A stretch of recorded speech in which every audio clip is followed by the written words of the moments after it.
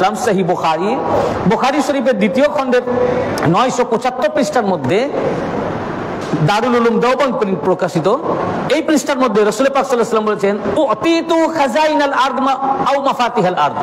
আল্লাহ তাআলা আমাকে পৃথিবীর সমস্ত সম্পদের চাবি আমার হাতে দিয়ে দিয়েছেন। আও মাফাতিহাল আরদ অথবা পৃথিবীর চাবি, এই জমিনের চাবিটাই আমাকে দিয়ে দিয়েছেন। কিসের চাবি? পুরা জমিন এবং জমিনের সম্পদের চাবি এই পৃথিবীর চাবি। কার হাতে? রসুল পাক হাতে। জমিনে কি আছে? আপনি যদি ভালো করে চিন্তা করে দেখেন, সবকিছুই জমিন থেকে, মাটি থেকে, আর্থ থেকে। মাটি থেকে না? আপনার রুজি, সেটা মাটি থেকে। দেখুন, আমরা কি খাই? ভাত খাই। ভাত কি থেকে? চাল থেকে। চাল কি থেকে? ধান থেকে। ধান কোথা থেকে? মাটি না থাকলে তো ধান হবে না। ধান রোপণ করা হয়, সে বীজ থেকে ধান গাছ হয়, মাটি থেকে। আমরা রুটি খাই, রুটি গম থেকে, গম মাটি থেকে। আমরা যে তরকারি খাই, সবজি সব মাটি থেকে। সবজি যখন রান্না করি, তেল লাগে। সর্ষের তেল, সে সর্ষেও মাটি থেকে।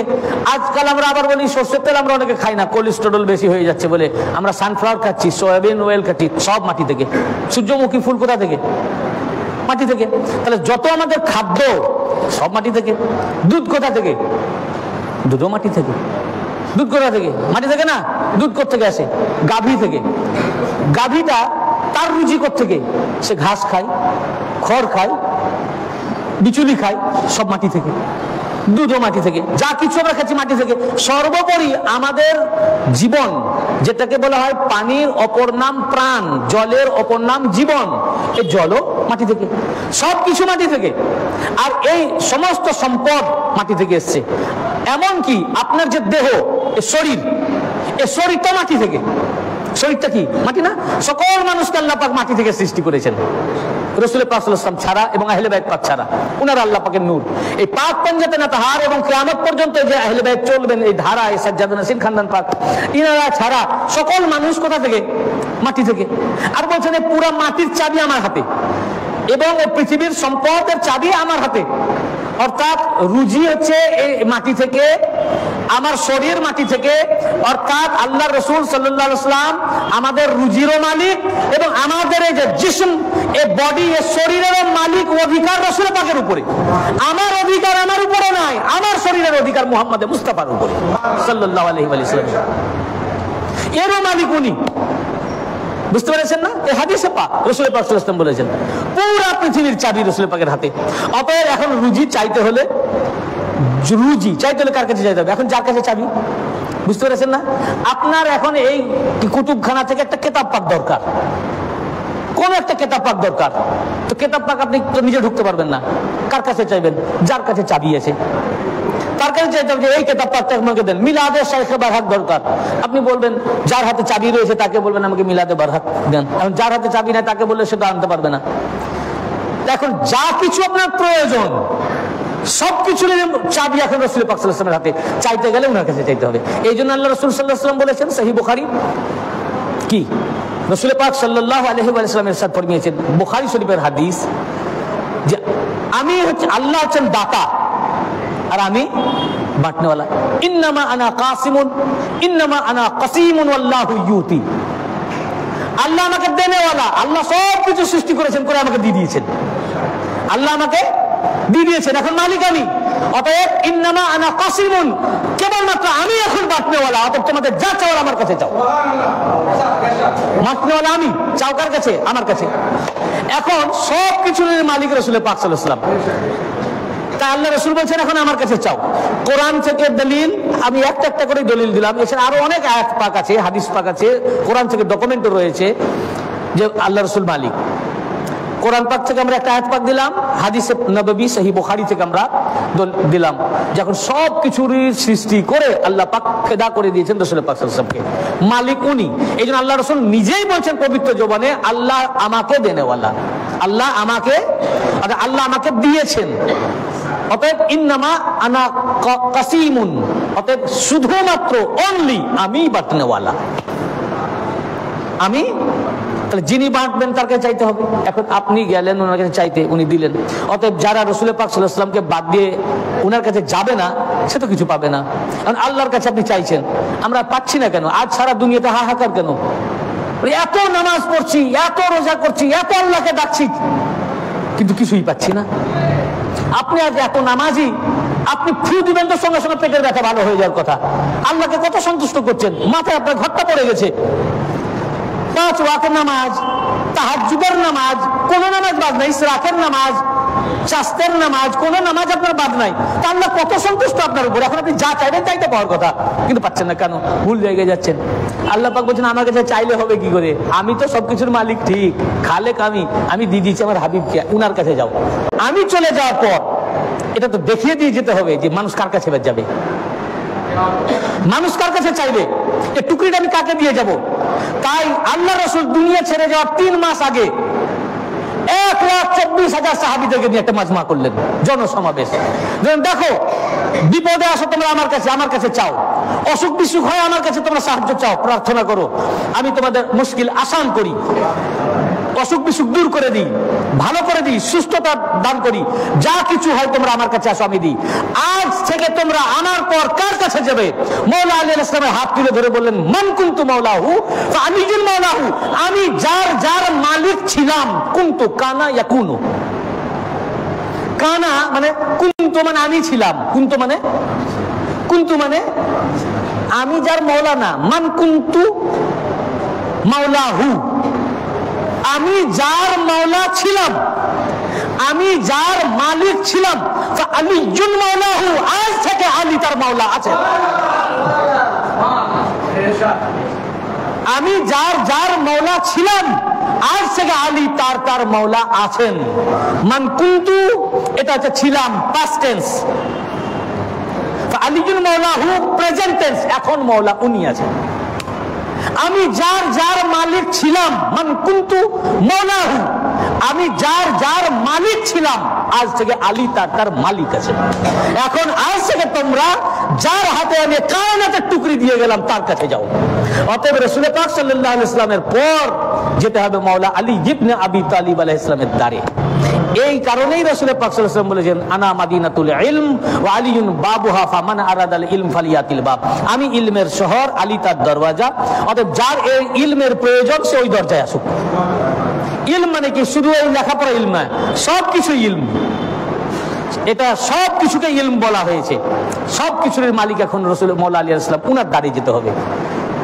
এখন এই মৌলা আলী আল ইসলামকে যে রসুল পাকসালাম ওনার পর স্থলাভিষিক্ত করে গেলেন, এই মালিকানা করে গেলেন, এই যে সব কিছু দিয়ে গেলেন, মৌলা আলী আল ইসলামের পর বংশানুক্রমিক ভাবে এইদিকে ছোট ইমাম পাক ইমাম হুসাইন ইসলামের খানদানের মধ্য দিয়ে এগারো ইমাম ইমাম হাসান আল্লাহ আসকারি আল ইসলাম পর্যন্ত ওখানে গিয়ে থেমে গেল। তারপর আর ইমাম নাই। একাদশ ইমাম ইমাম হাসান আল আসকারি আল ইসলামের পরে আর ইমাম নাই। এইদিকে ইমাম হাসান আল ইসলামের শাহজাদা ইমাম হাসানে মুসান্না আলাহ ইসলাম আর ইমাম হুসাইন আল ইসলামের শাহজাদি ফাতেমা সুবরা আল ইসলাম দুই দিক থেকে এমামত এখানে আবার সন্নিবেশিত হলো। এই দুজনের সাদি মুবারকের দ্বারা যে শাহজাদা আসলেন, ইমাম হাসান ইসলামের ছেলের ইমাম হুসাইন ইসলামের শাহজাদি মেয়ে। দুজনের সাদি মুবারকের দ্বারা যিনি আসলেন, তিনার নাম আবদুল্লাহ সৈয়দ হজরত আবদুল্লাহ মাহাজ আলাহ ইসলাম ইনি হচ্ছেন ইমাম হাসান আল ইসলামের পোতা, ইমাম হুসাইন আল ইসলামের নাতি। ইনার থেকে যে আওলাদ পৃথিবীতে আসলেন, তিনার নাম পিরানে পীর, মিরানে মীর দস্তগীর রৌশন জমির হুজুর গৌসে আজম, শাহ মহিউদ্দিন আব্দুল কাদের জিলানি আলাহ ইসলাম এই যে ইমাম হাসান আল ইসলামের পোতা, ইমাম হুসেন আল ইসলামের নাতি, ইমাম হুসেন আল ইসলামের শাহজাদার ছেলে, ইমাম হুসেন আল ইসলামের শাহজাদির ছেলে, আবদুল্লাহ মাহাজ আল ইসলাম উনি হয়ে গেলেন প্রথম আল্লাহ হাসানি আল হুসাইনি আউলাদ দুনিয়ার বুকে প্রথম হাসানি হুসাইনি আউলাদ হচ্ছেন সৈয়দ আব্দুল্লাহ মাহাজ আল ইসলাম এই কারণ থেকে এই খানদানকে আল হাসানি আল হুসাইনি বলা হয়। হুজুর গস পাক হয়ে গেলেন আল হাসানি আল হুসাইনি। বুঝতে পেরেছেন না? এই ইমামত ইমাম হোসেন ইসলামের ধারাতেও চলছে, এদিকে ইমাম হাসান ইসলামের ধারাতেও চলছে। মুল্লা আলী কারি রহমতুল্লাহ আলাই তার মুজহাতুল খাতির ফাতির ফি মানাকিব শেখ আব্দুল কাদির, এই কিতাবের মধ্যে লিখেছেন ইমামতের ধারার ব্যাপারে যে ইমাম হাসান আলাইহিস সালাম যখন বাধ্য হলেন খেলাফতকে ছেড়ে দিতে, জালেমের অত্যাচারে মোয়াবিয়া জালেম তার অত্যাচারে এবং এদিকে কুফিদের বিশ্বাসঘাতকতার কারণে, কুফিদের বিশ্বাসঘাতকতা ওনার সাথে বিট্রে এবং মোয়াবিয়ার জুলুম। এই মানে এক ওনার ঘরের শত্রু আর এক বাইরের শত্রু।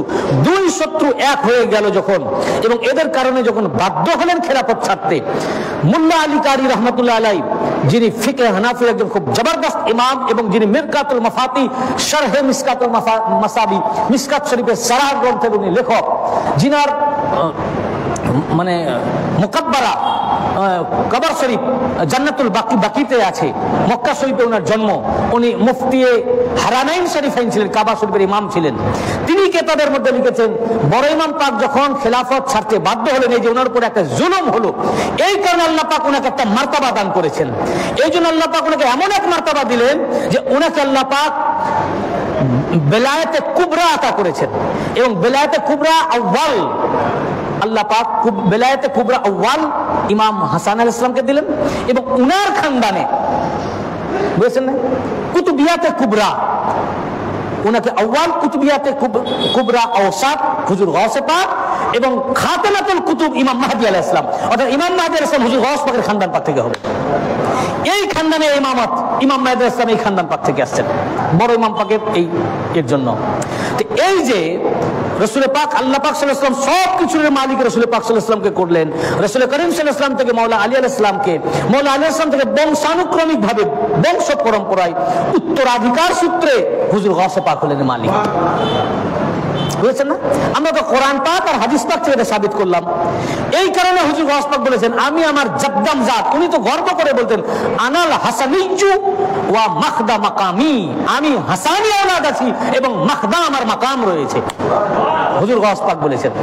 তো হুজুর গসুল আজম আল ইসলাম এই জন্য বলেছেন, আমি উত্তরাধিকার সূত্রে আমার জব্দাম জাত মুহাম্মদ মুস্তাফা সাল্লাহ ইসলাম হতে আমার দাদা জান মাওলা আলী ইসলামের মাধ্যমে। এই তাম কিছুর মালিকানা আমার হাতে। অতএব বেলাদুল্লাহি মুলকি ওয়া তাহতা হুকমি, আল্লাহর শহরগুলো সব আমারই রাজ্য আর আমার হুকমের অধীন। তাম কায়নাতে আমার রাজত্ব এখন চলছে। ওনার যিনি স্থলাভিষিক্ত এবার হবেন কিসের? ওনার সম্পদের। অর্থাৎ ওনার সবচেয়ে বড় যে সম্পদ, সে সম্পদটার নাম হচ্ছে কুতবিয়াতে কুবরা। অর্থাৎ গাউসিয়াত। এই গৌসিয়াতের উত্তরাধিকারী হলেন উনার শাহজাদা পাক সৈদিন আব্দুর রাজ্জাক আলহিসাল্লাম তারপরে তার উত্তরাধিকারী এই গৌসিয়াত এর উত্তরাধিকারী তার শাহজাদা। এই তার শাহজাদা তার শাহজাদা, এইভাবে মৌলা পাক মৌলা পাক থেকে পীর মুর্শিদ পাক সৈয়দ হাজার সৈয়দ সাদ আলী আল কাদিল ইসলাম আর এই খানদানের সিস্টেম হচ্ছে যিনি মানে সার্ভাইভিং এল্ডেস্ট সান হচ্ছেন সাজ্জাদ নাসিন হবেন পীর মুর্শিদ, এই কারণে পীর মুর্শিদ পাকে বড় ভাই ছিলেন, কিন্তু বমলা পাক, হায়াত পাকে থাকতেই উনি বেসালে হাক লাভ করেন। উনি মেজো ছিলেন, কিন্তু তখন সার্ভাইভিং এল্ডেস্ট সান হচ্ছেন পীর মুর্শিদ পাক, উনি সাজ্জাদ নাসিন হলেন উনার পর সার্ভাইভিং এল্ডেস্ট সান হচ্ছেন পর্দা হুজুর পাক সাইদ নাজার সাহ মুস্তারশিদ আলী আল কাদের সাহেব, উনি সাজ্জাদ নাসিন উনার পর সাজ্জাদ নাসিন বড় হুজুর পাক সাইদ নাজার সাহ রশিদ আলী আল কাদরি আলহিসাম তারপরে সজ্জাদ নসিন বর্তমান জামানার গস বড় হুজুর পাক ইয়াসুব আলী আল কাদরি মাদ্দাজিলুল আলী। এই কাদরিয়া সিলসিলার সজ্জাদ শরীফ এইভাবেই চলছে। তো এই যে উত্তরাধিকারী কিসের? গসে পাকের গসিয়াতের উত্তরাধিকারী। তো প্রিয় মুর্শিদ পাক জামানার গস ছিলেন। হুজুর গস পাকের এই জন্য বড় হুজুর পাক সৈয়দ নাজার সৈয়দ শাহ রশিদ আলী আল কাদর আল হাসানি আল হুসেন আল বাগদাদি আলহ ইসলাতাম ওনার সাজরা পাক দেখবেন, আমাদের যে সাজরা পাক বর্তমানে ওনার যে আলকাব ওনাকে যে লকাব ওনার রয়েছে সাজরা পাকে। দেখবেন ওনার নাম পাকের আগে লেখা আছে আল গৌস ওয়াল মাসুম অ্যাকচুয়ালি যেমন গৌসা সানি পাককে গৌসা সানি বলা হয়। তাহলে কি উনার শাহজাদা পাক মানে পুণ্যাসুর হজরত পাক কুতুবে বাড়ি পাক কি গস না? এই খানদান পাক সবই গস এর মধ্যে একটা স্পেশাল একটা উপাধি বা টাইটেল একজনকে দেওয়া হয়। যেমন ধরুন গসা সানি বলা হচ্ছে, আবার পুণ্যাসুর হজরত পাককে কুতুবে বাড়ি বলা হচ্ছে। তো কুতুবে বাড়ি মানে আল্লাহর কুতুব কুতুব মানে গস বুঝতেছে না কুতুবুল আক্তাব যিনি তাকে গস বলা হয়। আবার উনার শাহজাদা সৈয়দনাকে তুফাইল আলী আল কাদের আলাইসলাম উনাকে বলে কুতুবে রব্বানি। কুতুবে বাড়ি বাড়ি মানে আল্লাহ, আল্লাহর কুতুব, কুতুবে রব্বানি মানে রব্বানি, আল্লাহ, আল্লাহর কুতুব। কুতুব মানে এক একজনকে এক একটা উপাধি। মৌলা সৈয়দনা মুর্শিদ আলী কাদরি আলাহ ইসলাম উনাকে বলে মৌলা পাক। উনিও গস দেওয়ান পাকে তো গস বলা হচ্ছে। আল্লাহ হুজুর পাক, উনার টাইটেল উপাধি, লাকাব ওনাকে দেওয়া হয়েছে আলা হুজুর পাক। আলা মানে সর্বোচ্চ। কিন্তু উনিও গস মৌলা পাক দেওয়ান পাকের মধ্যে লিখেছেন, যেটা আমি আজকে আমরা পড়লাম দেওয়ানের পাকের মধ্যে না, যে মেহরে আলী আল কাদরি গসে জামান। উনি জামানার গস ইনার গস সবাই এবং মাসেম সবাই। কিন্তু একটা বিশেষ উপাধি কেউ কেউ ভূষিত হন। সেই হিসাবে বড় হুজুর পাকের যে উপাধি ওনার সাজরা শরীফে লেখা আছে, আল গস ওয়াল মাসুম। মানে মাসুমদের ভিতরে ওনার মধ্যে এমন মাসুমিয়াত ছিল, যেটা আপনারা লক্ষ্য করেছেন, দেখেছেন। আপনারা তো ওনার মুড়িদ রয়েছেন অনেকেই, বেশিরভাগই। বুঝেছেন না? এই কারণে এই খান্নান পাক যারা রয়েছেন, ইনারা যারা সত্যিকারের ওলি হন, কামেল ওলি, ইনারা কখনো কারামাত দেখাতে চান না। এটা তো জাদুঘর না যে এনারা ভেলকি দেখিয়ে বেড়াবেন। বুঝতে পেরেছেন? বরং এনারা নিজেদেরকে ছুপিয়ে রাখেন।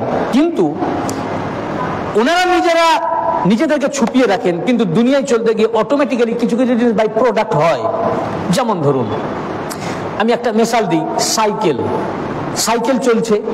এখন সাইকেল রাস্তাতে কাদা কাদা আছে, টায়ারে কাদা লেগে গেছে। এখন সাইকেলটা যখন চলে, তখন কাদা ছিটছে। না? সাইকেলে কি হয়? তো সাইকেলটাকে কি তৈরি করা হয়েছে কাদা ছিটানোর জন্য? না। সাইকেলটা তৈরি করা হয়েছে, চাকা তৈরি হয়েছে ঘোরবার জন্য, চলার জন্য।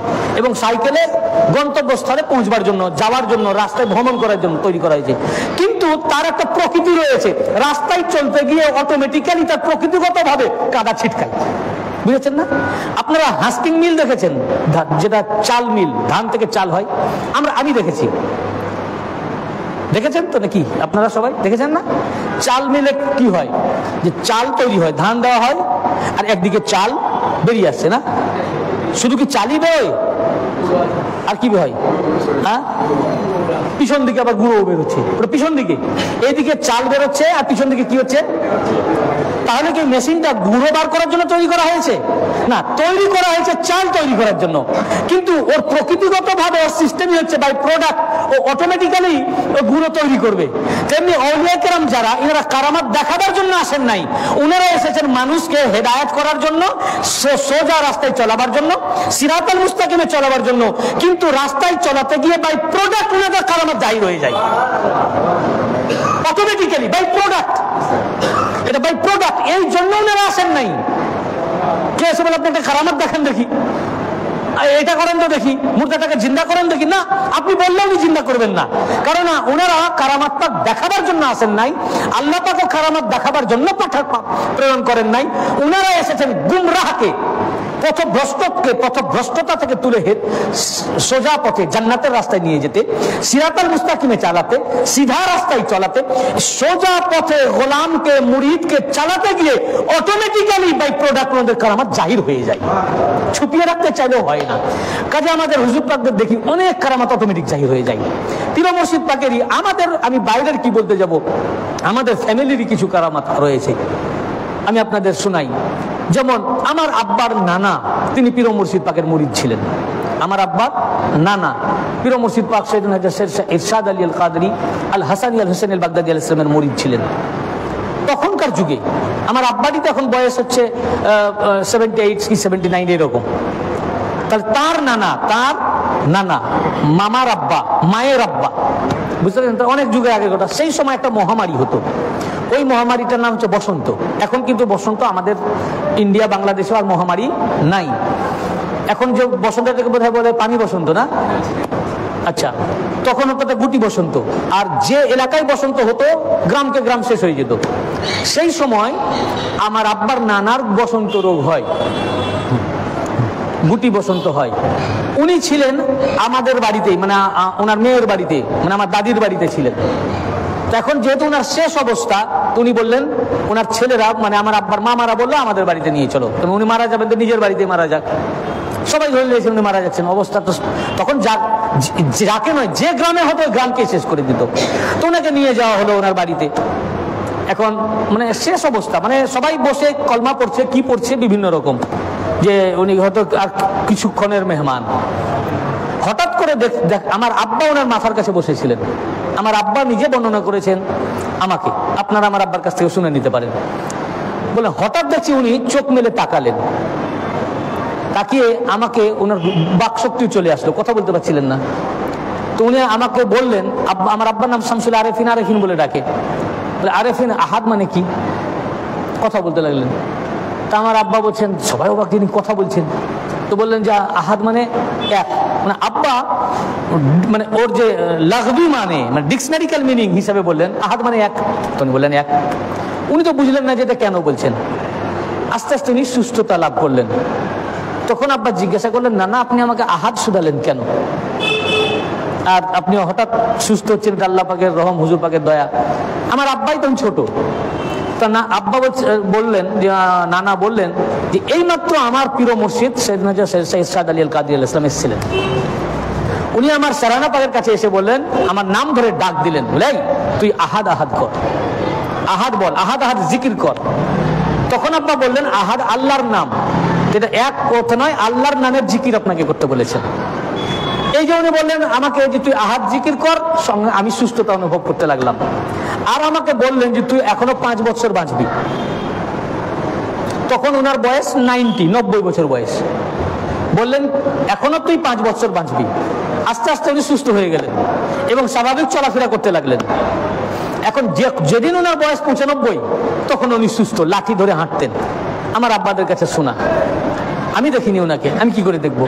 তো লাঠি ধরে উনি হাঁটতেন। এখন ওই গ্রামে একটা গন্ডগোল লেগেছে।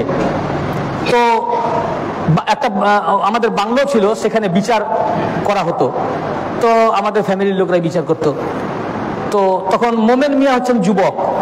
উনি বিচার করছেন। অল্প বয়স্ক লোক বলে ওনার বিচার মেনে নিচ্ছে না। গোয়ালরা। গোয়ালদের সাথে একটা গন্ডগোল লেগেছে। তো ওনার কানে যখন আসলো যে বিচার মানছে না, তখন উনি একদম রেগে উঠলেন। দেখি তো কেন মানবে না। বলে উনি বেরিয়ে যেতে লাগলেন। দিয়ে হাঁটতে হাঁটতে ওনার পোতা ছিলেন একজন, তাকে হাত ধরে তার নাম হচ্ছে সাফিউল্লাহ রাজি। তার হাত ধরে উনি সেই বিচার যেখানে উনি গেলেন। ওখানে যাওয়ার পরে যখন উনি সি- সিঁড়ি আছে উঠতে যাচ্ছেন, উঠতে গিয়ে উনি হঠাৎ উনি নিজেই বলছেন, আমাকে ধরো তো, আমি পড়ে যাচ্ছি। তো ওনাকে তখন ধরতে গেল, তো ধরতে ধরতে উনি পড়ে গেলেন। মানে নিচে পড়ল না, লোকে ধরে নিল। ওনাকে বাড়ি আনা হলো, ওনাকে চামচে শরবত দিতেই উনি ইন্তেকাল করলেন। বিনা অসুখে, কোনো অসুখ ছিল না। ওই যে বলেছিলেন, পাঁচ বছর তুমি বাঁচবে, উনি পাঁচ বছরই বেঁচেছিলেন। এটা আমাদের নিজেদের ঘটনা, পীর মুর্শিদ পাকের কারামাত পাক। এই ইনারা যদি রহস্যের ছলেও কোনো কিছু বলে দেন, ওইটা হয়ে যায়। মৌলা পাককে একদম জিজ্ঞাসা করল, ওনার মুড়িদের ভিতরে যে, হুজুর, আপনি কি যা বলবেন তাই যা বলেন তাই হয়ে যায়? তখন উনি বললেন, আমরা যদি রহস্যের ছলেও কিছু বলি তো সেটাই হয়ে যায়। বুঝেছেন না? এই যে দেখেন, এটা আমি নিজেকে এক খুবই নিজেকে ছোট মনে করি এবং আমি নিজেকে আলেম কখনোই জানি না, মনে করি না। আমার হুজুর পাকের কারামত পাক দেখেন, আমাকে দিয়ে দেখেন না, আমি তো জেনারেল লাইনের লোক, আপনাদের মতো পড়াশোনা করেছি। বুঝেছেন? আপনাদের মতো। আমি স্কুল কলেজে পড়েছি, আমি পিওর সায়েন্স নিয়ে পড়েছি ম্যাথমেটিক্স ফিজিক্স কেমিস্ট্রি আমি পড়েছি। হায়ার সেকেন্ডারি পর্যন্ত বাংলাও ছিল কম্পালসারি ইংলিশ কম্পালসারি ছিল, মাধ্যমিকে অল সাবজেক্ট ছিল, বাংলা, ইতিহাস, ভূগোল, আপনারা যেমন পড়েছেন West Bengal Board of Secondary Education এখান থেকে আমি সার্টিফিকেট প্রাপ্ত। এই লাইনে পড়েছি। তা আমি তো প্রথমত মৌলানা লাইনের ছাত্র না। আমি উনিশশো চুরানব্বই সালে মাধ্যমিক পরীক্ষা দিয়ে আমি দরবার পাকে আমি মাধ্যমিক পরীক্ষার দিয়ে আমি খেদমত পাকের জন্য দরবার পাকে আসি চুরানব্বই সালে। আমি যখন দরবার পাকে আসলাম অনেকবার এই ঘটনা আপনারা শুনেছেন আমার কাছ থেকে। বর্তমান সাজ্জাদ নাসিন হজরত পাক শেরশাহ, ইয়াসুব আলী আল কাদরি আলী, উনার আব্বাজান ছোট হুজুর পাক সৈয়দ আলী আল কাদরি মদ্দাজিল্লুল আলী। উনি রহস্যের ছলে একটা ঘটনার পরিপ্রেক্ষিতে আমার তখন ষোলো বছর বয়স। উনি আমার রহস্যের ছলে মানে উনি রসিকতার ছলে উনি বলে উঠলেন মাশাল্লাহ মৌলানা এবার কপালে হাত দিয়ে। ওই যে ওনার জোবান পাক দিয়ে মৌলানা শব্দ বেরিয়ে গেল। এরপর আমি নিজেকে মৌলানা মনে করি না, আমি একেবারে মূর্খ। কিন্তু উনার ওই দাওয়া পাওয়ার অনুযায়ী আমার যেটুকুই হোক ইলিম চলে আসলো। এখন আপনাদের সামনে বক্তব্য রাখছি। বিভিন্ন জায়গায় যাচ্ছি আপনাদের বাংলাদেশেও যাচ্ছি। আমাকে অনেকে জিজ্ঞেস করেন যে আপনি কোন মাদ্রাসায় পড়েছেন? আমি যদিও দারুল উলুম কাদেরিয়া হাবিবিয়া থেকে ফারিক, সেখান থেকে আমি অনেক পরে আমি সেখানে ভর্তি হয়েছি, সেখান থেকে আমি পাস করেছি, দারুল উলুম কাদেরিয়া হাবিবিয়া থেকে।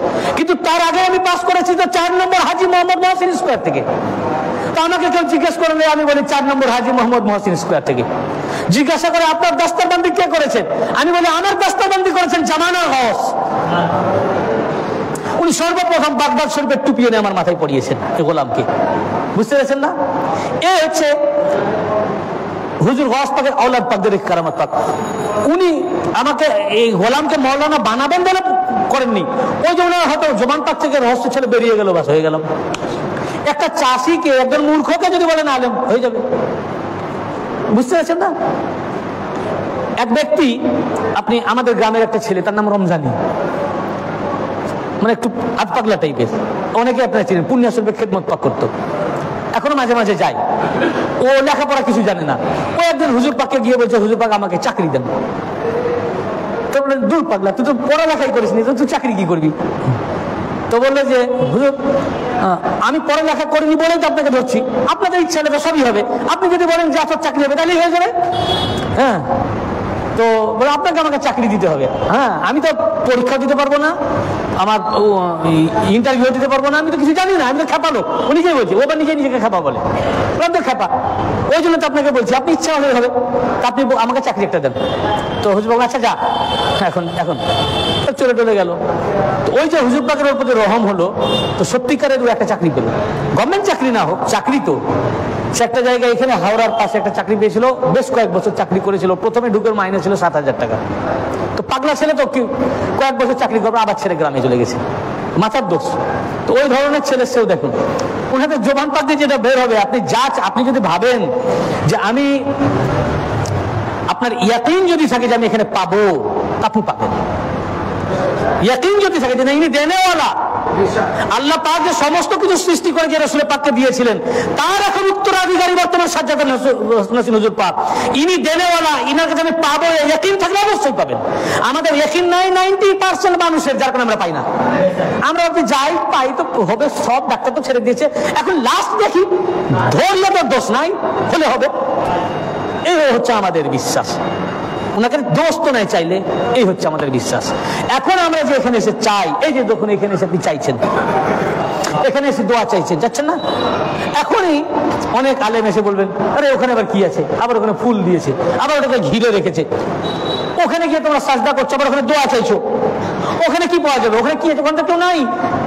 আমরা এমনি কোনো অলি আল্লাহর কাছে চাওয়াই মানি না। আর একটা ঘেরা জায়গা, সেখানে কিছু কোনো মানুষ বসে নাই, কেউ নাই, ওখানে দোয়া চাইছে যে আমাকে বাচ্চা দেন, আমাকে সন্তান দেন, আমার রোগ ভালো করে দেন, ওখানে কি হবে? ভাই, তোমরা তো ভাই কোরআন করো না, ওখানে সব পাওয়া যাবে। কেন পাওয়া যাবে? জায়গাটা কি? ওই জায়গাটা হচ্ছে যে এ খানকা শরীফের প্রতিষ্ঠাতা মৌলা পাক সৈদিন হাজার সৈয়দ শাহ মুর্শিদ আলী আল কাদির আলাইসালাম উনি ওখানে বসতেন। ওখানে নামাজ পড়তেন, ওখানে উনি দাঁড়াতেন। আবার ওখানে বসে জিয়ারত দিতেন। এই যে ওইটা ওনার এবাদত গাহ ছিল, ইবাদতের জায়গা ছিল। ওইখানে দাঁড়িয়ে কদম মুবারক রেখেছেন। ওখানে কদম পাক রেখে উনি নামাজ পড়েছেন। ওখানে বসে মানুষদেরকে জিয়ারত পাক দিয়েছেন। এই জায়গাটা এই জন্য হয়ে গেল আমাদের জন্য দোয়া কবুলের জায়গা। এই জন্য আমরা সব মুড়িদানের এসে চাই। এখন আপনি বলবেন এটা কোরআনে কোথায় আছে? এটাও কোরআনে আছে। দেখুন সুরা আলে ইমরান সাঁত্রিশ নম্বর আয়াতে এখানে এসে যদি একিন মনে হুজুর পাকের কাছে চাওয়া তো দূরের কথা। হুজুর পাক তো এখন রয়েছেন। উনাকে চাইবেন উনি যদি বলেন জাতর বাচ্চা হবে তো হবে। এখান থেকে তো আপনি আওয়াজ শুনতে পাবেন না কিন্তু ইয়াকিনের সাথে চাইলে এখান থেকেই বাচ্চা হবে। দলিল হলো কোরআন, সুরা আলে ইমরান সাঁত্রিশ নম্বর আয়াত। মারিয়াম আলাইসালাম যখন ইমরান ওনার আব্বার নাম, ওনার সন্তান হচ্ছিল না। তো উনি মান্যত করলেন যে, আমার যদি সন্তান হয়, তো এই সন্তানকে আমি আল্লাহর রাহে নজর করে দিব। এই বাইতুল মাকদিস যে মসজিদ, এখন যে মসজিদ নিয়ে এখন গন্ডগোল চলছে, জেরুজালেমে আমি দিয়ে দিব। তো এ মান্যত করাতে সত্যিকারের সন্তান হলো, কিন্তু মেয়ে সন্তান। তার নাম রাখা হলো মারিয়াম, যিনি পরবর্তীতে ঈসা আল ইসলামের আম্মা। মারিয়াম আলাহ ইসলাম যেহেতু উনি মান্নাত করেছিলেন, ওই মসজিদে ওনাকে বিয়ে দিলেন। মারিয়াম আলাহ ইসলাম ওই মসজিদে একটা কক্ষ ছিল, কক্ষ, ঘর, ওটাকে মেহরাব বলা হতো। ওই মেহরাবে উনি থাকতেন আর ইবাদত করতেন। আর উনার দেখভাল করতেন তাইগম্বার জাকারিয়া আলাহ ইসলাম উনিও আল্লাহর নবী এবং তাইগম্বার রসুল। উনি দেখভাল করতেন। উনি দরজা লাগিয়ে চলে আসতেন, তালা লাগিয়ে।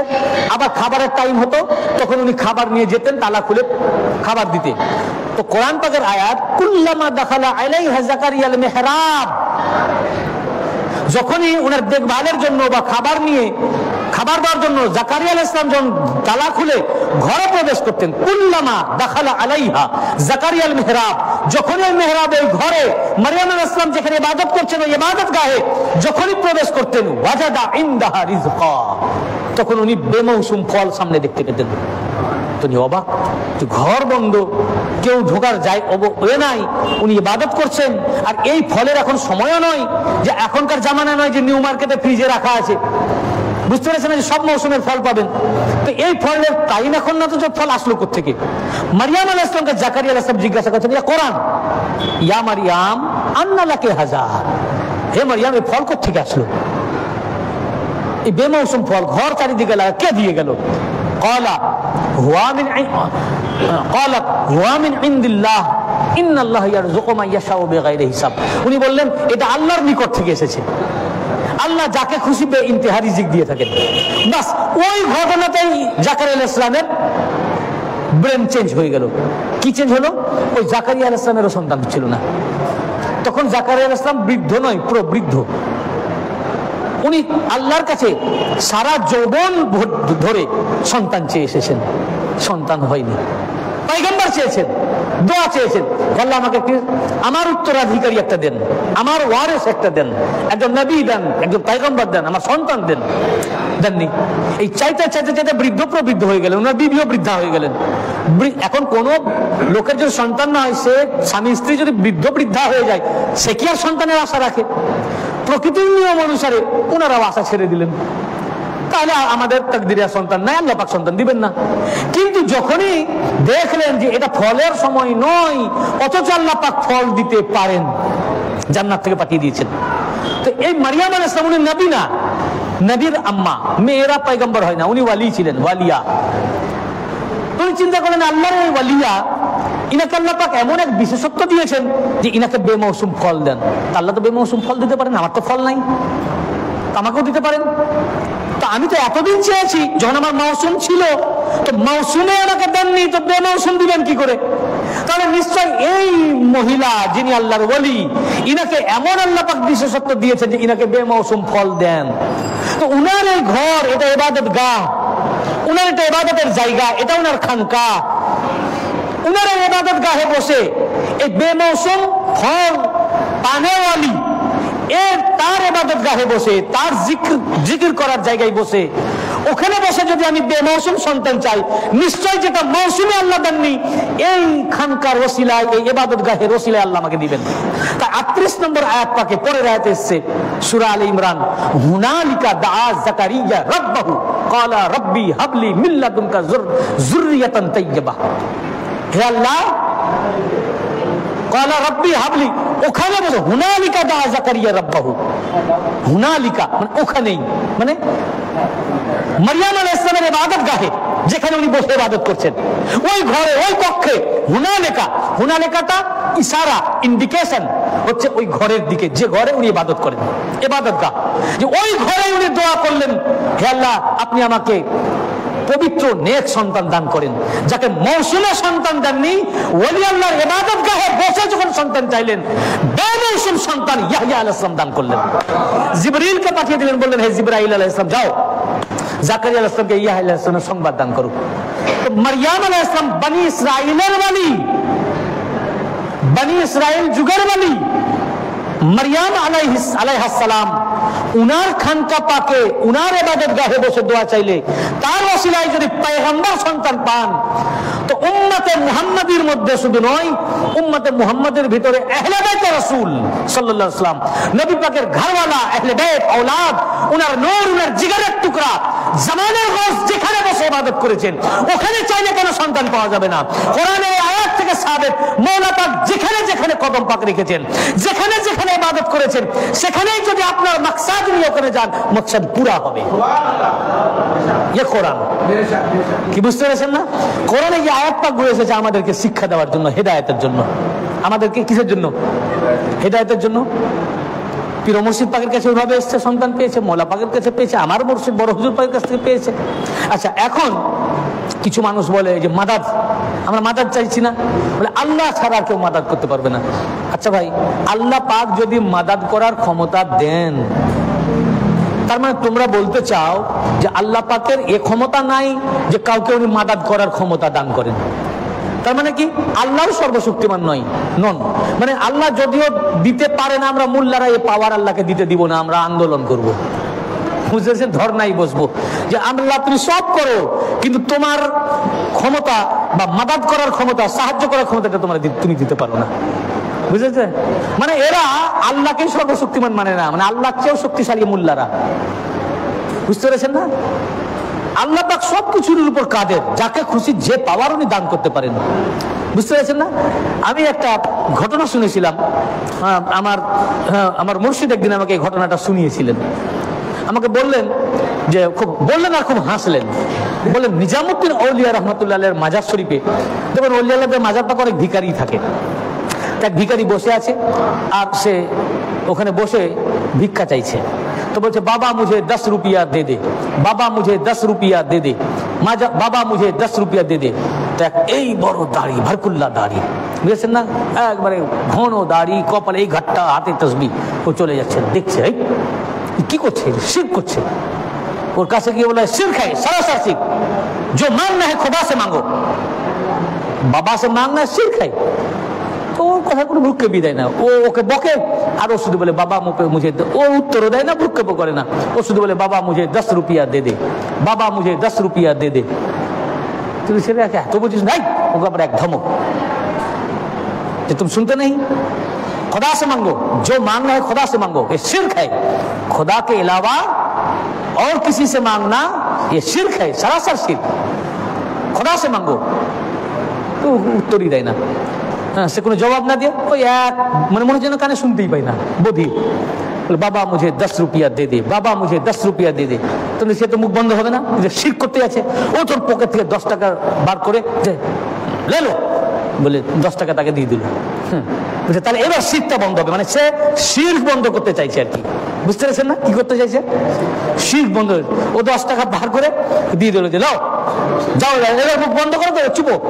चुपो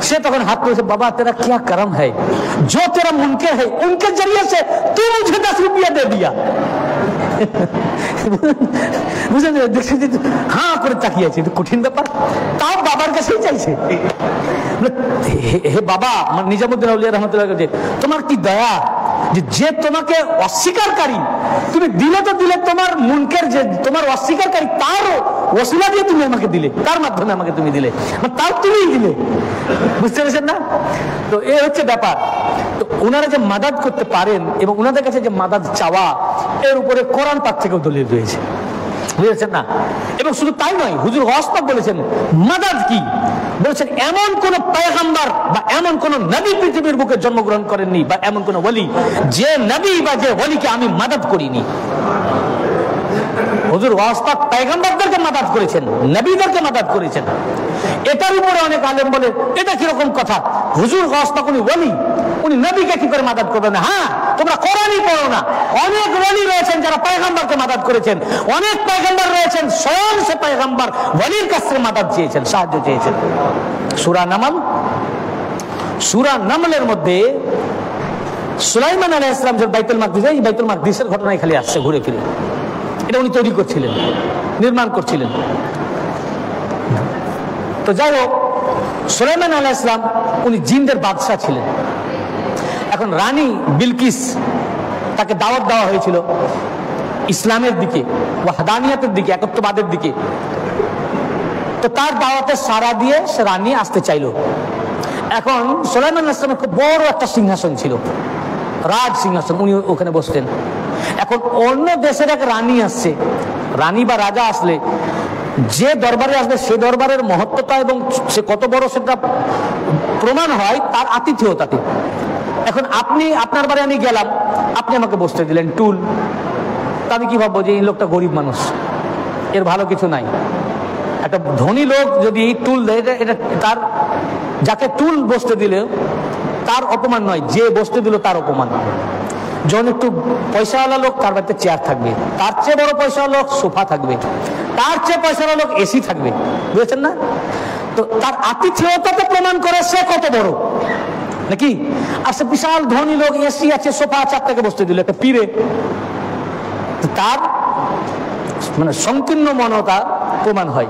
তো ইনি যেমন বাদশাহ, তার আতিথেয়তা হবে তেমনি বড়। তো এখন ওই রকম সিংহাসন তো আর নাই। তো উনি চাইলেন যে রানীর সিংহাসনটাকে এখানে আনবেন। রানী আসার আগেই সেটা কি সম্ভব? তো উনি জিনদের বাদশাহ ছিলেন, সব জিনকে ডাকলেন। তো জিনদেরকে ডেকে বললেন যে, এই ব্যাপার, রানী বিলকিস আমার কাছে আসছে, তার জন্য সিংহাসনটা দরকার। তোমাদের ভিতরে কে আছো যে ওই সিংহাসনটা আমার কাছে কত তাড়াতাড়ি আনতে পারবে? তখন জিনদের মধ্যে যে দৈত্য ছিল, তার নাম ইফরিত। সে উঠে দাঁড়াল। তাদের মধ্যে সবচেয়ে পাওয়ারফুল জিন। জিনদের ভিতরে পাওয়ারফুল জিন। বলল, আপনি আপনার স্থান থেকে উঠে দাঁড়াবার আগেই আমি ওটাকে হাজির করে দিব। এত আমার শক্তি। কোন কোন কেতাবে আছে যে আশি মাইল দূর সেখান থেকে। বলে আমি মুহূর্তের মধ্যে মানে আপনি এখান থেকে নিজ জায়গা থেকে উঠে দাঁড়াবার আগে আমি সিংহাসনকে হাজির করে দেবো। উনি বলেন, না, আমার আরও তাড়াতাড়ি চাই। এখন জিনদের মধ্যে সবচেয়ে যে পাওয়ারফুল সে এর চেয়ে আগে আর আনতে সম্ভব নয়। সব জিন খামোশ। তো বললেন এ হবে না, আমার আরও তাড়াতাড়ি চাই। কে আনতে পারবে? তখন ওখানে উপস্থিত ছিল, উপস্থিত ছিলেন এক ব্যক্তি কোরআন পাকে যার কথা লেখা আছে, ইন্দাহু ইলমুম মিনাল কেতাব। এক ব্যক্তি ছিলেন, আজ তার নাম হাদিসের কেতাবে এসছে এবং তফসিরে আসিফ বিন বারখিয়া। যিনি ওয়ালি ছিলেন, উনি নবী না, উনি সুলাইমান আলাহ ইসলামের উম্মাদ এবং উনি ছিলেন ওয়ালি। মানুষ, মানুষের ভিতরে। তিনি উঠে দাঁড়িয়ে গেলেন। কে? যার কাছে কেতাবের ইলম রয়েছে। উনি বললেন আমি আপনার চোখের পলক ফেলার আগে এনে দেবো। বলতে না বলতে সিংহাসন হাজির। বলতে না বলতে সিংহাসন হাজির। বললেন কি, আমি আপনার চোখের পলক ফেলার আগে আমি আপনাকে এনে দিব। জিন যেটা পারল না, মানুষ পারল। এখানে কেতাবের ইলম বলতে কোরআনের হাতের নয়, কেতাবের হাতের নয়, জব্বুরের হাতের নয়। তাই যদি হয় তা ওনাকে যদি ধরা যায় জব্বুরের হাফেজ, জব্বুর মুখস্থ রয়েছে তো তাহলে আপনার তো জব্বুরের চেয়ে আলা কেতাব করার মুখস্থ। আমার বাড়িতে টেবিলের উপরে আমার পকেট ডায়েরিতে রাখা আছে, এনে দেন। এখনই। মুর্শিদাবাদ থেকে, পারবেন? তো এ কেতাবি মুখস্থ, এটা হচ্ছে বাতেনি ইলম, রুহানি ইলম, মারেফাত, যেটা অলিয়া কেরামের কাছে রয়েছে। ইলম মিনাল কেতাব। বুঝতে পেরেছেন না? অর্থাৎ বলি আল্লাহ। তা আসিফ বিন বারখিয়া উনি বলেন, আমি এনে দিব। কি? চোখের পলক ফেলার আগে। বলতে না বলতে সিংহাসন সামনে হাজির। সুলাইমান আসলাম এটা আল্লাহ ফজল থেকে হয়েছে। তো দেখুন, আসিফ বিন বারকিয়া বানি ইসরাইল যুগের ওলি, সেই ওলি অপেক্ষা আফজাল হচ্ছে উম্মাতে মুহাম্মাদের ওলি। উম্মাতে মুহাম্মাদের মধ্যে যত বলি তার মধ্যে আফজাল হচ্ছে আহলে পাকের মধ্যে যারা বলি আহলে বাইত পাকের ভিতরে অনেক ওলি রয়েছেন, তার ভিতরে আফজাল, যিনি আহলে পাকদের মধ্যে হেড অফ দ্য ডিপার্টমেন্ট যিনি গস কুতুবুল আখতাব, তিনি হচ্ছে সর্বশ্রেষ্ঠ ওলি। সেই যুগের বলি যদি সিংহাসনকে মুহূর্তের মধ্যে চোখের পলক ফেলার আগে এক জায়গা থেকে আর এক জায়গায় আনতে পারেন, হুজুর গস পাক গস পাকের আওলাদ, যে কোনো জিনিস মুহূর্তের মধ্যে মদিনা শরীফ থেকে হোক, ইরাক পাক থেকে হোক, কারবালা শরীফ থেকে হোক, লন্ডন থেকে হোক, আনতে পারবেন না। এটা তো সোলাইমান আল ইসলামের উম্মত পারেন আর রসুল পাকের উম্মত পারেন না। শুধু উম্মত নয় ওনারা হলে দেয় ওনার আওলাদ। শুধু তাই নয়, এখানে একটা খুব খাস পয়েন্ট রয়েছে। আচ্ছা ভাই, সুলাইমান আল ইসলাম কেন চাইলেন সিংহাসন? রানী বিলকিসের জন্য। রানী বিলকিসকে কেন ডেকেছেন? দাওয়াত খাওয়ার জন্য? খাবার খাওয়ার জন্য? ভোজের জন্য? কি? বলুন। কি জন্য ডেকেছেন? কোনো বিয়ে আছে, কোনো অনুষ্ঠান আছে, বা কোনো খাওয়া দাওয়া চলবে? কি জন্য? তাওহীদের দাওয়াত দিয়ে ডেকেছেন। তাওহীদের জন্য, একত্ববাদের জন্য। আল্লাহর দিকে ডেকেছেন। আল্লাহর দিকে ডাকার জন্য উনি মনে করলেন যে আমি যেমন সম্মানীয় ব্যক্তি, তার জন্য সম্মানীয় তার একটা সিংহাসন দরকার। এই কারণে সিংহাসনটা আনা প্রয়োজন। যে মোজেজা দেখে ইমান আনবে, আল্লাহর তৌহিদের দিকে আসবে। সুলাইমান আলাহ ইসলামের থেকেও কি মোল্লারা তৌহিদকে বেশি মান্যওয়ালা? তৌহিদকে সবচেয়ে বেশি মান্যওয়ালা কে? মোল্লা না সুলাইমান আলাহ ইসলাম তো সুলাইমান আলাহ ইসলাম উনি উনি যখন নিজে আনলেন না পারলেন না আমি বলব না, উনি তো আনতে পারতেন। এটা আমাদের জন্য শিক্ষা হেদায়ত, যাতে উম্মাতে মোহাম্মদী হেদায়ত দিতে পারে এবং এটা কোরআনে আয়াত হিসাবে অবতীর্ণ হয়। উনি সব পেগম্বর সবচেয়ে বেশি তৌহিদকে মাননেওয়ালা তো উনি গাইরুল্লাহর কাছে চাইবেন কেন? আর এ সিংহাসন গাইরুল এক জায়গা থেকে আরেক জায়গায় গাইরুল্লাহ আনতে পারে। ভাই, সিংহাসন তো বিশাল ভারী। কত কুইন্টাল ওজন? সেটা ছেড়ে দেন। এবং অত আশি মাইল অত দূর যেতে হবে না। হাওড়াতে আমার কিংবা হয়তো এই দশ কিলোমিটার দূরে কি পাঁচ কিলোমিটার দূরে আমি এখানে ওয়াজ করছি, হাওড়া স্টেশনে একটা আমার জিনিস আছে, একটা পেন, ছোট জিনিস। আপনি মুহূর্তের মধ্যে এনে দেখি। এখানে একটা চেয়ার লাগবে, এমন একটা চেয়ার দিল্লি ছাড়া পাওয়া যায় না। এখন বর্তমান যুগ যা আবিষ্কার করেছে প্লেনের মাধ্যমেও জেটের মাধ্যমেও এত তাড়াতাড়ি আনা সম্ভব নয়। প্লেনে চাপার পরে যদি প্লেনটা ছাড়ে, তাও মুহূর্তের মধ্যে তো দূরের কথা, পাঁচ মিনিটও আসতে পারবে না, দশ মিনিটও আসতে পারবে না টাইম লাগবে অনেক। বর্তমান আধুনিক বিজ্ঞানের যুগেও আনতে পারবে না। সেখানে সেই যুগে সুলাইমান আল ইসলাম গাইরুল্লাহর কাছে চিন্তা করলেন, কি করে যে গাইরুল্লাহ এনে দিবে? উনি তো চাইছেন গাইরুল গাইরুল্লাহর কাছে মাদাদ আল্লাহর কাছে চাইছেন। তাহলে কি সুলাইমান আলাহ ইসলামের চেয়েও কি আপনার আল্লাহর প্রতি ইলম বেশি? এবং আল্লাহর প্রতি ইলম আপনার থেকে সুলাইমান ইসলামের ইলম কম ছিল? এবং আল্লাহর প্রতি ইমান আপনার চেয়ে সোলাইমান ইসলামের কম ছিল? আপনার ইমান আল্লাহর প্রতি সোলাইমান আল ইসলামের চেয়েও কি বেশি? উনি আল্লাহর কাছে চাইলেন না। আপনি যখন এই ধরনের কেস দেখবেন, যেটা মানুষের দ্বারা সম্ভব নয় তখন আপনি কি করবেন? যদি কিন্তু আপনার খুব দরকার। যেটা মানুষের দ্বারা সম্ভব নয়, কিন্তু আপনার খুব দরকার। আপনি কি করবেন আল্লাহ, তুমি আমাকে বাঁচাও। আমার সম্মান রক্ষা করো। এখন তুমি ছাড়া কেউ পারবে না। এই ইমান তো আপনার চেয়ে বেশি সোলাইমান আল ইসলামের। উনি তো ভাবতে পারতেন যে আল্লাহ তোমার তৌহিদের দিকে রানী বিলকিসকে আমি ডেকেছি। তুমি আমার ইজ্জত রক্ষা করো। তুমি সিংহাসন টেনে দাও। সিংহাসন যদি সামনে না থাকে, আমি বসতে দিব কিসে? আমি যদি বসতে দিতে না পারি, তো তোমার পাইগাম্বারের ইজ্জত থাকবে কিসে? আর তোমার পাইগাম্বারের ইজ্জত না থাকে তোমার দিকে ডাকবো কি করে? তোমার দাওয়াকে, আমার দাওয়া তোমার প্রতি গ্রহণ করবে কি করে? এ মুজেজা দেখবে কি করে?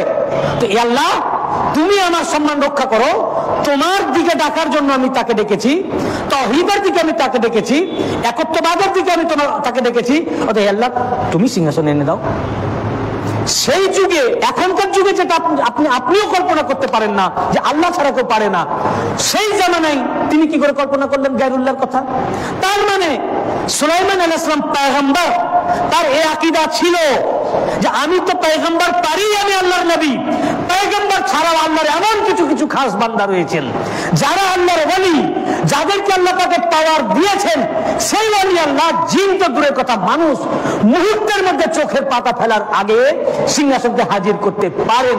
এ আকিদা, এ ইমান এ বিশ্বাস পায়গম্বর সোলাইমান আল ইসলামের ছিল। কি বুঝতে পেরেছেন না? তাই সুলাইমান আল ইসলাম আল্লাহকে ছেড়ে গাইরুল্লাহকে ডাকলেন। প্রথমে জিন গাইরুল্লাহ জিন, তোমরা কে পারবে সিংহাসনে এনে দিতে? আল্লাহ ছেড়ে গাইরুল্লাহ ওনারা বললেন, জিনের মধ্যে সবচেয়ে পাওয়ারফুল জিন বলল, আমি পারব, কিন্তু আপনার সিংহাসন থেকে উঠে দাঁড়াবার আগে। বললেন, না, আরও তাড়াতাড়ি চাই। তখন আসিফ বিন বারখিয়া বললেন, আমি এনে দিতে পারব। তো সুলাইমান আলাহ ইসলাম উনার ইমান ছিল, আকিদা ছিল যে আল্লাহর ওয়ালি আমার যুগে, আমার উন্নতের মধ্যে রয়েছে। আমার উন্নতের মধ্যে এমন ওয়ালি রয়েছেন, আমি তো দূরের কথা সেই বলি মুহূর্তের মধ্যে সে সিংহাসন আশি মাইল দূর থেকে এখানে চোখের পাতা ফেলার আগে আনতে পারবেন তাই উনি যখন বললেন, ওটাকে উনি অ্যাকসেপ্ট করলেন এবং ওনার কাছে মাদার চাইলেন। কার কাছে?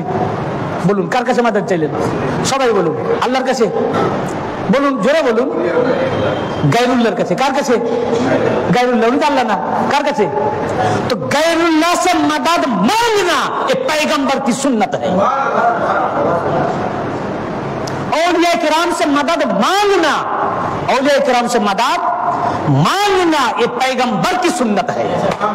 पैगंबরের সুন্নাত এ তো গেল সুলাইমান আলাইহিস সালামের ঘটনা এ উনার সুন্নাত ছিল উনার যুগে ছিল কোরআনে আনার দরকার কি ছিল এটা তো সুলাইমান আলাইহিস সালামের জামানার ঘটনা উনার নবীদের উনার উম্মতের যুগের সুন্নাত ছিল কোরআনে আনার দরকার কি ছিল আল্লাহ পাক সুলাইমান আলাইহিস সালামের ঘটনাটাকে উম্মতে মুহাম্মাদির কেতাব কোরআনে নিয়ে চলে আসলেন।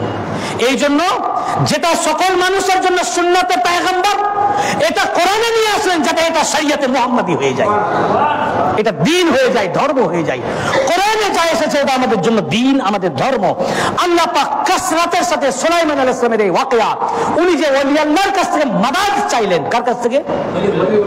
ওলি আল্লাহর কাছে মাদাদ চাইলেন, গায়রুল্লাহর কাছে মাদাদ চাইলেন। এই ওয়াকিয়াকে আল্লাহ পাক কোরআনে আয়াত নাজিল করলেন সাবজেক্ট করে দিলেন। কোরআনের একটা সাবজেক্ট বিষয়বস্তু করে দিলেন। অর্থাৎ আল্লাহ পাক উম্মতে মুহাম্মাদিকে শিক্ষা দিচ্ছেন। দেখো, সেই যুগের নবী নবীগণ বলির কাছে মাদাদ দিয়েছেন। আমি কোরআনে এটাকে সাবজেক্ট বানিয়ে দিলাম। অর্থাৎ উম্মতে মুহাম্মাদের জন্য আউলিয়া কেরামের কাছে মাদাদ চাওয়া শুধু সুন্নাতে পয়গম্বর নয়, এটা শরিয়তে মুহাম্মাদি, এটা দিন, এটা ইসলাম হয়ে গেল। এবং এটা স্টাবলিশ হয়ে গেল আল্লাহ পাক আয়াত এই নিদর্শনকে রেখে দিলেন কোরআনে। কেন?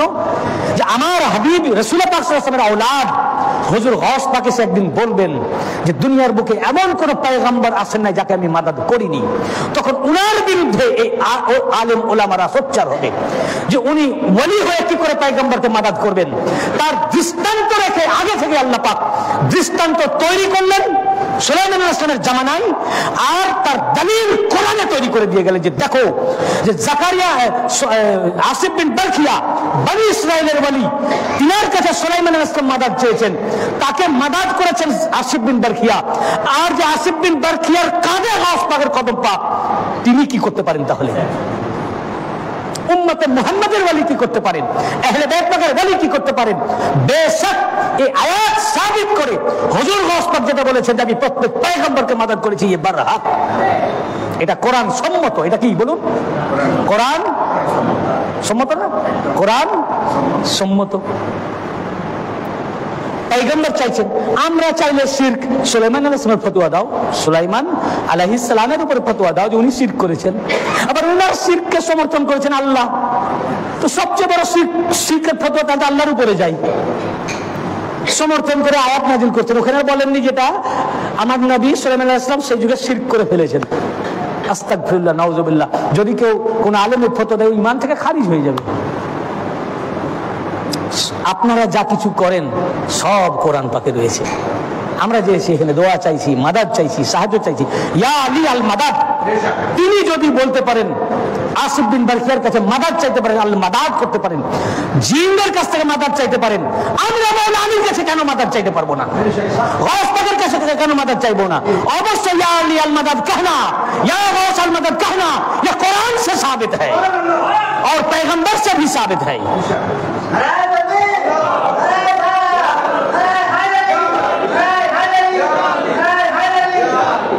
আমাদের চরম সৌভাগ্য।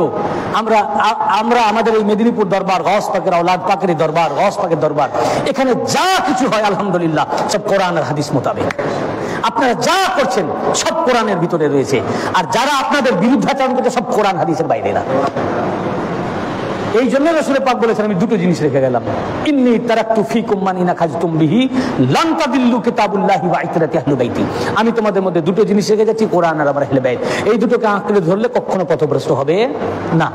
আবার বলেছেন লাইয়া তাফাররাকা হাত্তা ইয়ারিদা আলাইয়াল হাউজ। কোরআন আর আহলে বাইত, হাউজে কাউসারে আমার সাথে মিলিত না হওয়া পর্যন্ত কোনো কখনো একে অপর থেকে পৃথক হবেন না, বিচ্ছিন্ন হবেন না, জুদা হবেন না। কিয়ামত পাক কোরআন আহলে বাইতের সাথে আহলে বাইত পাক কোরআনের সাথে। অর্থাৎ একমাত্র কোরআন অনুযায়ী যদি জিন্দাগি করে চলতে চান এহলে ব্যয়তে সহমত ইত্যাদি এখানেই কোরআন মত অনুযায়ী আপনার জেহেনে না ঢুকতে পারে, কিন্তু রসুল পাক বলে দিয়ে গেছেন, একমাত্র এহলে ব্যয়তের দরবারেই কোরআন অনুযায়ী শিক্ষা দেওয়া হয়, দার্স দেওয়া হয় টিচ দেওয়া হয়, ওই অনুযায়ী কাজ হয়।